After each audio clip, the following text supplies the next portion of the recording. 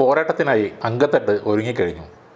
ഇനി കൊച്ചി കേൾക്കാൻ പോകുന്നത് ഓരോ ബ്ലാസ്റ്റേഴ്സ് ആരാധകന്റെയും അലർച്ചയാണ്. ഇന്ത്യൻ സൂപ്പർ ലീഗ് ഫുട്ബോളിന്റെ പത്താം സീസൺ നാളെ കൊച്ചിയിൽ തുടങ്ങുമ്പോൾ നമ്മുടെ സ്വന്തം ടീമായ കേരള ബ്ലാസ്റ്റേഴ്സും നിലവിലെ റണ്ണേഴ്സപ്പായ ബാംഗ്ലൂരു എഫ് സിയും തമ്മിലാണ് ആദ്യ പോരാട്ടം. നാളെ രാത്രി എട്ട് മണിക്കാണ് മത്സരം ആരംഭിക്കുന്നത്.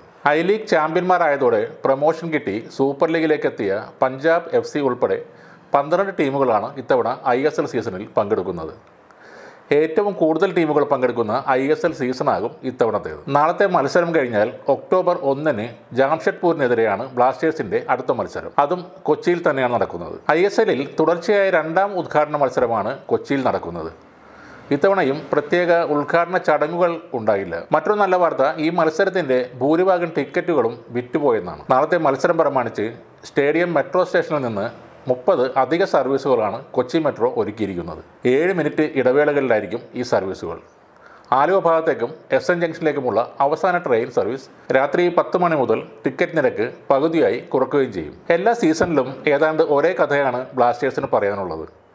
കഴിഞ്ഞ സീസൺ പൂർണമായും നിരാശയാണ് ആരാധകർക്ക് സമ്മാനിച്ചത്. ബുക്കോമനോവിച്ചും സംഘത്തിനും ഓർക്കാൻ തീരെ ഇഷ്ടമല്ലാത്ത ഒരു സീസണാണ് കഴിഞ്ഞുപോയത്. ബംഗളൂരു എഫ് സിയുമായുള്ള പ്ലേ ഓഫ് മത്സരത്തിനിടെ സുനിൽ ഛേത്രിയുടെ ഫ്രീ കിക്ക് ഗോളിൽ പ്രതിഷേധിച്ച് കോച്ചിന്റെ നേതൃത്വത്തിൽ കളിക്കാർ കളം വിട്ടുപോയത് വലിയ വിമർശനം ഉയർത്തിയിരുന്നു.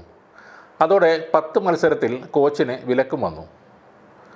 അതിൽ ഡൂരൻ കപ്പിലെ മൂന്ന് മത്സരങ്ങൾ കഴിഞ്ഞ് ഇനിയും ഏഴെണ്ണം ബാക്കിയുണ്ട്. ബുക്കോയുടെ പരിശീലനത്തിന്റെ മികവിൽ രണ്ടായിരത്തി ഇരുപത്തൊന്ന് ഇരുപത്തിരണ്ട് സീസണിൽ ബ്ലാസ്റ്റേഴ്സ് ഫൈനലിൽ കടന്നിരുന്നു. ഈ സീസണിൽ ചില പരിചിതമായ മുഖങ്ങൾ ബ്ലാസ്റ്റേഴ്സിൽ ഉണ്ടാവില്ല. ഗോൾ വല കാക്കാൻ പ്രഭ്സുഗൻ സിംഗിൽ ഉണ്ടാവില്ല. സച്ചിൻ സുരേഷ് ആയിരിക്കും ഗോൾ കീപ്പർ. പഴയ ക്യാപ്റ്റനായ ജസൈൽ കാർണേറോയും ഹർമൻജോത് ഖപ്രയും ടീം വിട്ടുപോയി വിദേശ താരം വിക്ടർ മോങ്കിലും ഒഴിഞ്ഞു പോയിട്ടുണ്ട്. മധ്യനിരയിൽ സഹൽ അബ്ദുൾ സമദിന്റെ പിന്മാറ്റം വലിയൊരു തിരിച്ചടിയാകും. വിദേശ താരങ്ങളായ അപ്പോസ്തലസ് ജിയാനു ഇവാൻ കല്യൂഷ്നി എന്നിവരും ടീം വിട്ടു പോയിട്ടുണ്ട്.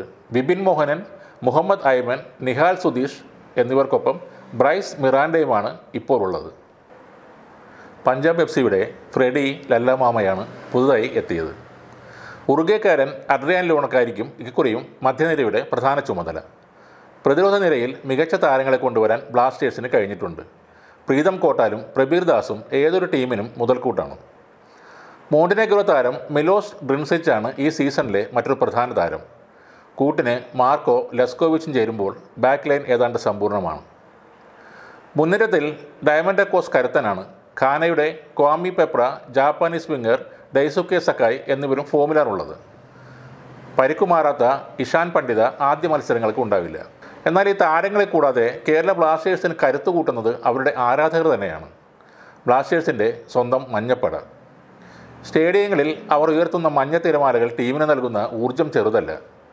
ടി വിയിൽ പോലും മത്സരം കാണാൻ സമയം ചിലവഴിക്കാത്തവർ കിലോമീറ്ററുകൾ സഞ്ചരിച്ച് കലൂരിൽ പോയി ആർത്ത് വിളിച്ചിട്ടുണ്ട് ഇതുവരെ കപ്പ് നേടിയിട്ടില്ലെങ്കിലും മഞ്ഞപ്പട കൂടെയുണ്ട് എന്ന ആത്മവിശ്വാസത്തിൽ നെഞ്ചു വിരിച്ച് മൈതാനത്ത് ഇറങ്ങുന്ന മറ്റൊരു ടീമും ഇന്ത്യൻ സൂപ്പർ ലീഗിൽ ഉണ്ടാവില്ല. സൂപ്പർ ലീഗിന്റെ ഈ പത്താം വർഷത്തിൽ ബ്ലാസ്റ്റേഴ്സ് ഓർത്തിരിക്കേണ്ട മറ്റൊരു പത്താം നമ്പർകാരനുണ്ട് ബ്ലാസ്റ്റേഴ്സ് എന്ന പേരും ടീമും നമുക്ക് സമ്മാനിച്ച ഇന്ത്യൻ ക്രിക്കറ്റ് ടീമിന്റെ അവസാനത്തെ പത്താം നമ്പറുകാരൻ സച്ചിൻ തെണ്ടുൽക്കർ.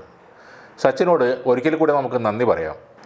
ഇന്ത്യയിലെ ഏത് ഫുട്ബോൾ ഫ്രാഞ്ചൈസിക്കൊപ്പം ചേരാനുള്ള ഓഫർ മുമ്പിലുണ്ടായിരുന്നിട്ടും അവയെല്ലാം നിരസിച്ച് നമ്മുടെ നാടിനെ തിരഞ്ഞെടുത്തതിന്. നിരവധി ചെറുപ്പക്കാർക്ക് അവരുടെ സ്വപ്നങ്ങളെ യാഥാർത്ഥ്യമാക്കാനുള്ള ചവിട്ടുപടികൾ കെട്ടിക്കൊടുത്തതിന്. മലയാളികൾ അല്ലാത്തവരെയും മഞ്ഞപ്പടയുടെ ഭാഗമാക്കിയതിന്. പത്താം സീസണിൽ ബ്ലാസ്റ്റേഴ്സ് കപ്പ് നേടിയാൽ ഏറ്റവും കൂടുതൽ സന്തോഷിക്കുന്നതും ആ പത്താം നമ്പർ ജേഴ്സിക്കാരൻ തന്നെയായിരിക്കും.